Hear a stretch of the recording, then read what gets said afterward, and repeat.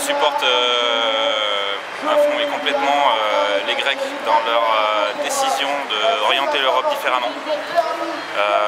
ils sont en train de faire quelque chose d'important à la fois pour les Grecs, les Européens du Sud, du Nord, et peut-être plus pour le monde même en général, parce qu'il y a du coup quelque chose de très important dans ce qu'ils disent, c'est qu'il y a une bien-pensance mal placée qui nous explique depuis 25 ou 30 ou 40 ans que l'économie fonctionne d'une seule manière et c'est complètement faux.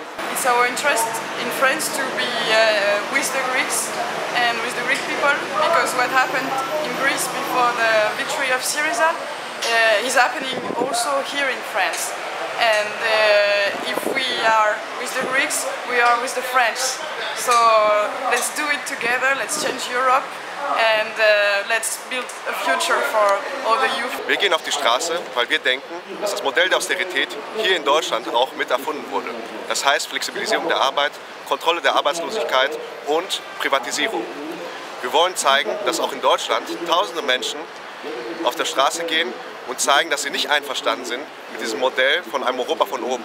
Partecipo alla settimana di solidarietà con la Grecia perché se vince la dignità e il coraggio del popolo greco, lo spazio per i diritti, la democrazia e la dignità di tutti i popoli d'Europa si allarga tantissimo. Se vincono loro, vinciamo tutti.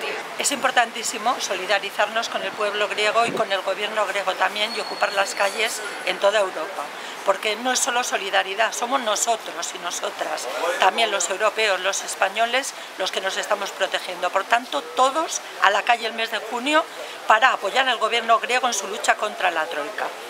Na Grécia, uma grande jornada de solidariedade. o destino da Grécia é também o destino de Portugal e a luta da Grécia também é a luta de Portugal. Fine de mandat e kësh më të e unë ε, όλοι στην Ευρώπη χρειάζεται να δείξουμε την αλληλεγγύη μας στον ελληνικό λαό.